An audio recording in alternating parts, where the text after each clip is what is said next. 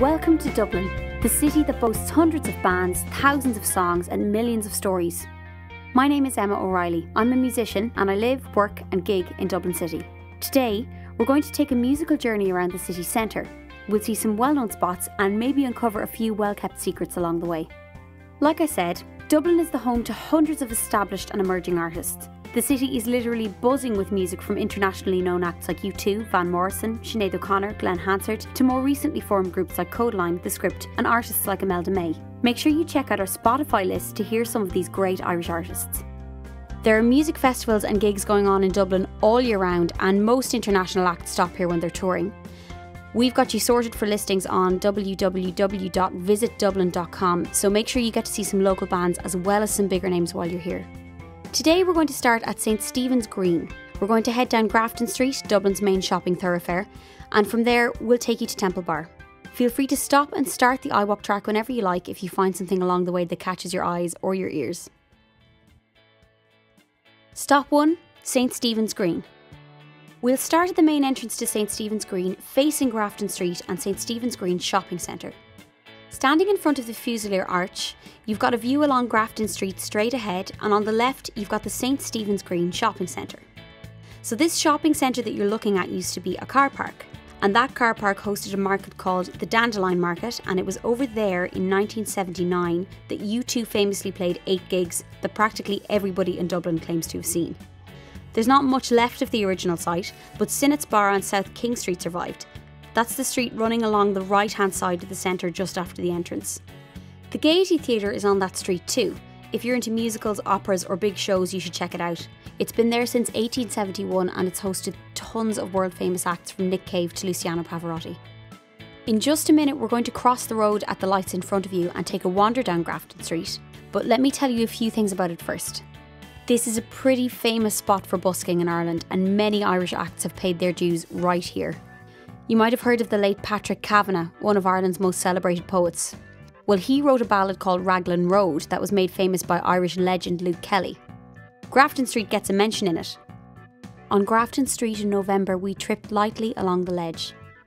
Of course, you'll recognise the area from the film Once, which had a scene where Glen Hansard was trying to make a few quid busking himself.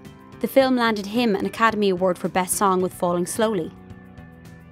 In fact, this is where Glen started, musically speaking. He used to busk here all the time, as did Paddy Casey, Damien Rice, Rodrigo y Gabriela, Kíla, and the Hothouse Flowers. You never know who you'll see here.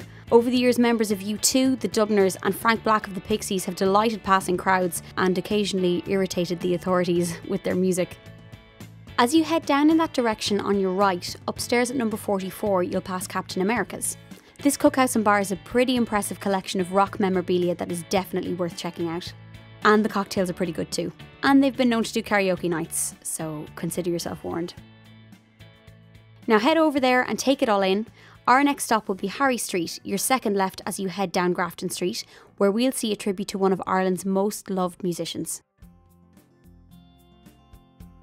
Stop 2 Phil Lynott statue, Harry Street. Now we're on Harry Street, facing Bruxelles Bar. In front of Bruxelles Bar, you'll see a bronze statue of the famous Phil Lynott. Locals call him Philo, and he was the frontman, bass player, and main songwriter for Thin Lizzy. Their hits included The Boys Are Back in Town, Whiskey in the Jar, Waiting for an Alibi, and Jailbreak. After winning a competition, sculptor Paul Daly was commissioned to work on the statue. The bronze was cast by Leo Higgins, and the plinth was hand carved by sculptor Tom Glendon. Dubliners have a tendency to nickname local landmarks, and Phil here is lovingly referred to as the ace with the bass. This statue was officially unveiled in 2005. Philo died in 1986 when he was only 36, but the music he made is still very well loved and a staple for performers and radio stations all over the country. As for Bruxelles, if you're here on a Wednesday, check out the Zodiac sessions downstairs to hear some original music by local talent.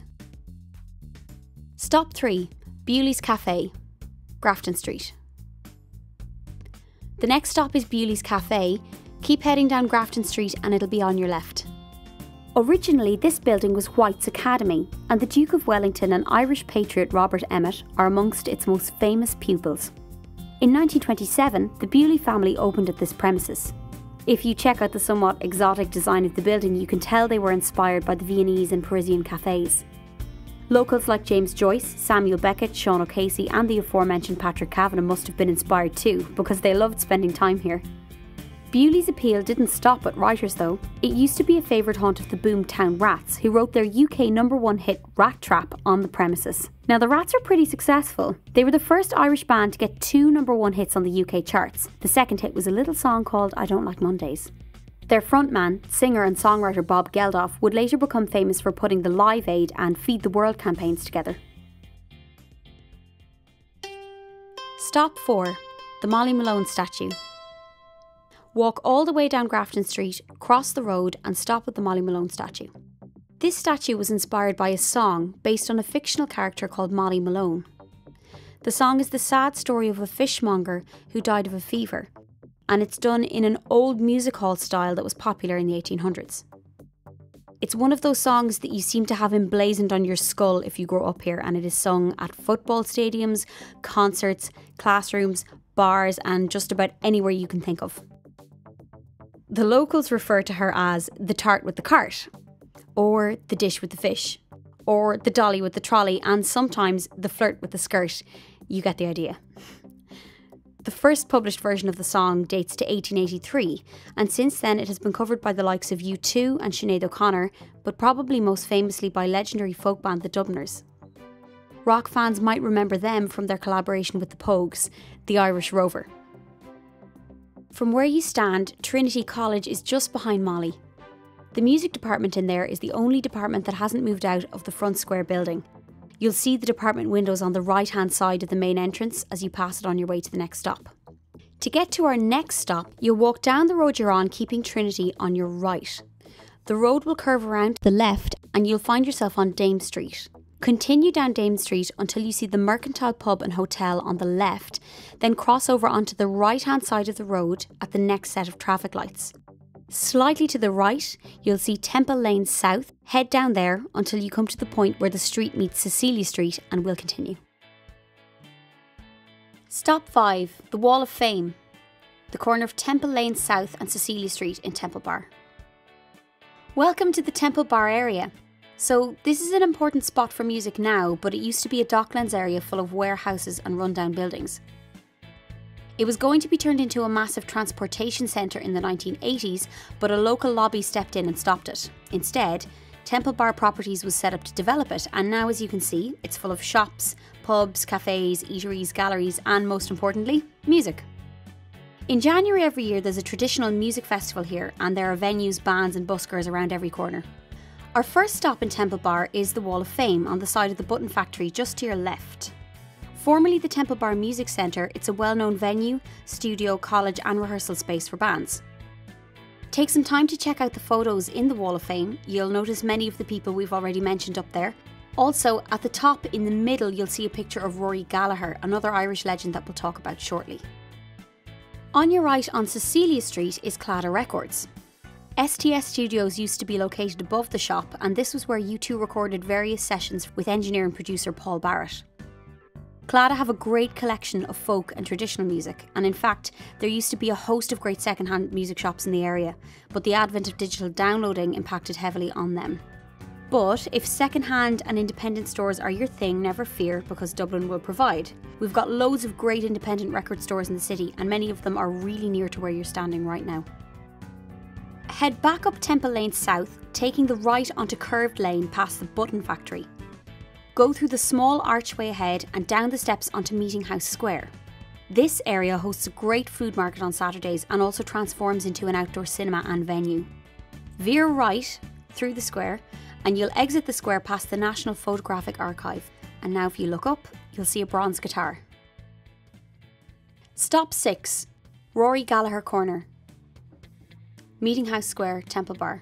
If you know anything about Rory Gallagher, you know why he gets an area of the city named after him. Rory was born in Ballyshannon, County Donegal, and grew up in Cork, but toured regularly around the world, selling over 30 million albums in the process. Rory learned his trade with the show bands, moving on to powerhouse trio Taste, which set him up for a long and successful solo career on top of the music he made with the band. His blend of blues and rock and style of playing were uniquely his, and his live performances were full of energy and charisma. And if you haven't already, I would strongly recommend you check out his music. Legend has it that he bought the first ever Fender Stratocaster electric guitar in Ireland in 1961 and played it throughout his career. This bronze sculpture is a replica of that same customised, well worn guitar, complete with scratches and marks. If you want to see a beautiful replica of the guitar up close, call into Music Maker on Exchequer Street. It's there in the guitar department. Rory passed away in 1995, aged just 47. You're now on Temple Bar Street. Face away from the guitar, walk down the street, taking the left onto East Essex Street. You'll find yourself outside the Project Arts Centre, which has played a key role in the Irish art scene. Many actors and artists like U2 have exhibited or performed there. And speaking of U2, it's a bit difficult not to in their hometown.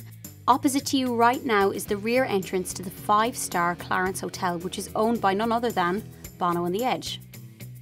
To get to our last stop, turn right and walk back along Temple Bar, passing the Rory Gallagher corner where you were just a moment ago until you reach Temple Bar Square.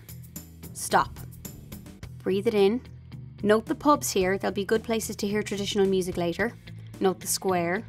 It's a good spot for buskers and markets. And another thing to flag for later if you were to continue walking straight past the square, you'd find yourself on Fleet Street. And if you were to continue down that street, you'd find the Irish edition of the Hard Rock Cafe. As you can imagine, that's also home to a load of rock memorabilia and it hosts gigs too. But for the moment, take the next left after the Quays pub and continue on through the Merchant Arch. Inside the arch, you'll see a plaque commemorating our hero from earlier, Phil Lynott. Stop number seven the Merchant's Arch and the Halfpenny Bridge. Now look through the arch and walk through it onto the quays. This is the Halfpenny Bridge. This is one of the oldest cast iron bridges in the world. For a stint of about 100 years from 1816, there was a toll of half a penny to cross the bridge, hence its name. Rock fans might know it from the opening scenes of Phil Lynott's video from his classic song about Dublin, Old Town. You'll also see Grafton Street in that video too. If you don't know it, you should probably check it out on YouTube and see how much Dublin has changed since this video was released in 1982. There are plenty of famous rock faces that have posed on the bridge over the years, apart from Philo, including Riverdance and, surprise, surprise, U2. I hope you've enjoyed the Rock and Stroll iWalk. While you're here, I really recommend taking the time to see some local venues and hear some local bands. Most of the best venues in the city are less than a 15 minute walk maximum from where you currently stand. Don't forget to check out our Spotify playlist to hear some great Irish acts. You can find us on iTunes if you want to download more iWalk podcasts. You can find us on Facebook or follow us on Twitter at Visit Dublin to keep up to date with the latest news and information. I'm Emma O'Reilly. Thanks for walking with me and have a fantastic stay here in Dublin.